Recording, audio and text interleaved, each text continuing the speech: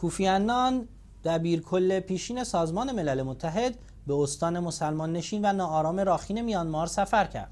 به گزارش رویترز انان در حالی به این استان شمالی میانمار سفر می کند که وضعیت مسلمانان در آن به شدت وخیم است و نظامیان میانماری با آتش زدن روستاهای مسلمانان حد حرمت زنان و دیگر اقدامات خشونتآمیز وحشتی زیاد را در این منطقه ایجاد کردند.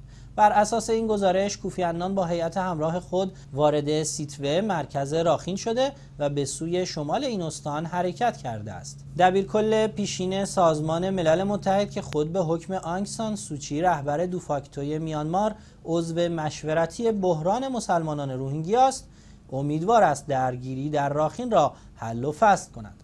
مسلمانان روهینگیا در میانمار از سوی سازمان ملل متحد به عنوان مظلومترین جمعیت جهان شناخته و معرفی شدند. به گفته منابع محلی ورود کوفی عنان به راخین نیز با اعتراض تعدادی از بودایان افراطی مواجه شده است.